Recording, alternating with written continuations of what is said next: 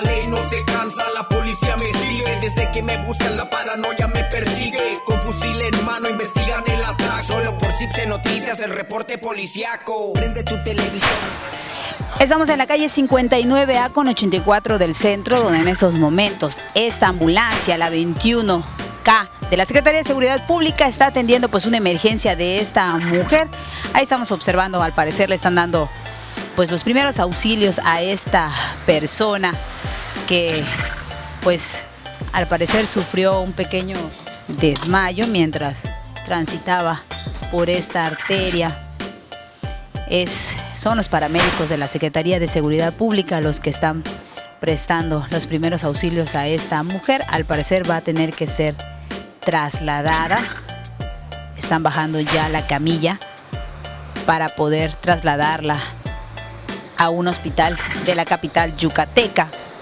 Esto aquí en el centro, donde los paramédicos de la SSP están ya atendiendo esta situación y van a trasladar a esta persona a un hospital. Vemos que hay dos mujeres más con esta persona quienes pues estarían también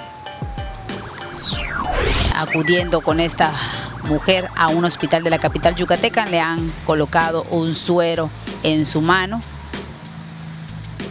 y debido a que todavía presenta pues algunos signos de desmayo, va a tener que ser trasladada ya a un osocomio. Esto aquí en el centro, donde se está presentando pues esta situación ya está la ambulancia, después de que se dio el reporte, la ambulancia acudió pues de manera rápida para poder atender esta situación y evitar que pase a mayores. En estos momentos la van a subir ya a esta ambulancia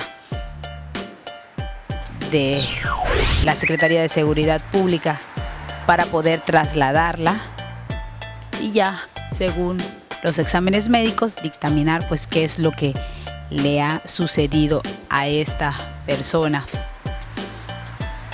Va rumbo a un hospital de la capital yucateca, donde se ha dado esta situación. Vamos a ver si algún oficial nos puede informar qué es lo que ha sucedido. Esto aquí. Señora, ¿qué fue lo que pasó? Es que ella estaba yendo al doctor porque se sentía mal. Al parecer se le bajó la presión. Se tenía, ya tenía calentura y, este, y un poco de mareo. Sí, se estaban dirigiendo al, médico cuando le pasó esto. ¿Venían caminando eh? Venía caminando con su hija y, pues se desvaneció.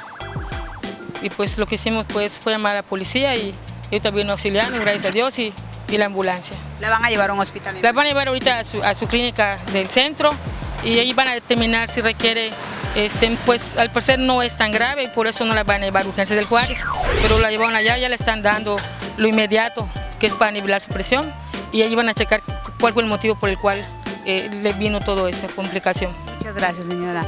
Es esta unidad, la 21K de la Secretaría de Seguridad Pública la que atendió esta situación. Está también la patrulla 5841 de la Policía Estatal de Vialidad, quien llegó hasta este punto apenas se recibió el reporte. Estas imágenes son de mi compañero Eduardo Ceballos para SN Policiaco, Fátima Ramírez. La ley no se cansa, la policía me sigue. Desde que me buscan, la paranoia me persigue. Con fusil en mano investigan el ataque. Solo por Cipse Noticias, el reporte policiaco. Prende tu televisor.